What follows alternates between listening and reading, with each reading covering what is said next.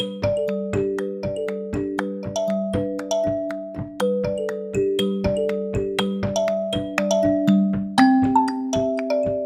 right, hey, let's get into it. Thank you for purchasing my new class, Practical Color Theory. All right, so I reached out to a lot of people about their most urgent questions when it comes to color.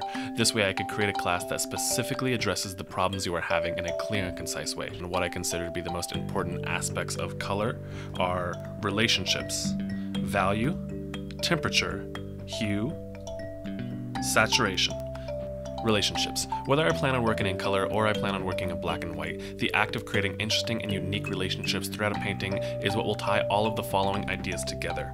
So we can go in here and see that these two paintings and these two paintings are pretty much the exact same value structure. My favorite way to check my values when I'm working on a painting is pretty simple. Let's say this is our base. This is our mid-tone red, this one right here. And this is pretty much middle of the road red. So let's go ahead and move on to a specific question. This was asked by somebody. I have a lot of trouble making my piece feel dimensional or show atmosphere. Cool. This is where warm and cools can get tricky. Question time!